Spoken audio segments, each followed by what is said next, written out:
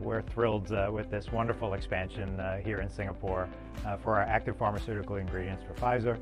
This site will continue to support the, the world in terms of uh, making life-saving medicines for patients in 180 countries. So a great footprint uh, here in Singapore, a very supportive government, a wonderful workforce, and certainly lots of innovative technologies that help us be more effective every day.